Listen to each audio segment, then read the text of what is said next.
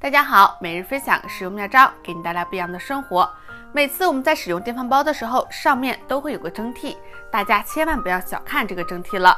这个蒸屉不止拿来蒸东西，在我们生活中还有大作用呢。赶紧跟视频一起来了解一下吧。我们在购买电饭锅的时候，都会赠一个像这样的电饭锅蒸笼。但是大家知道这个蒸笼还有什么用途吗？那么蒸笼和红枣搭配在一起会有什么样的作用呢？大家千万不要小瞧这个蒸笼，其实它可是一个去枣核的神器哦。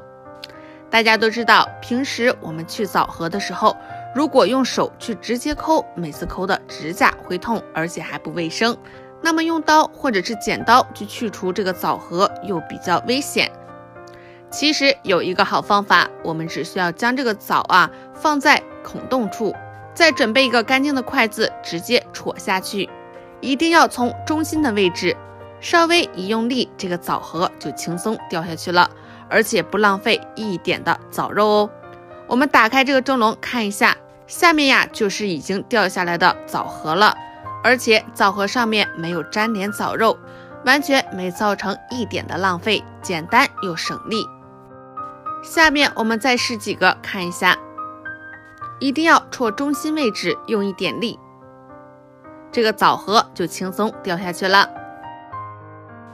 用了这个方法，一分钟能戳一盘的枣，是不是非常好呢？省时又省力，而且不脏手。学会的朋友就赶紧动手试试吧。好了，今天的视频就到这里。没想到小小的蒸屉还有这个用途吧？看完视频赶紧分享给朋友和家人，让更多人知道。我们下期再见。